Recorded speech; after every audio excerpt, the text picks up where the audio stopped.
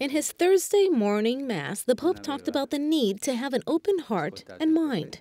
Reflecting on the Gospel reading, he said that with a closed mind, one cannot recognize the Word of God. Non c'è possibilità di dialogo, non c'è possibilità di aprirsi alle novità che Dio porta con i profeti. Hanno ucciso i profeti questa gente. Chiudono la porta alla promessa di Dio. E quando nella storia dell'umanità viene questo fenomeno del pensiero unico, quante disgrazie.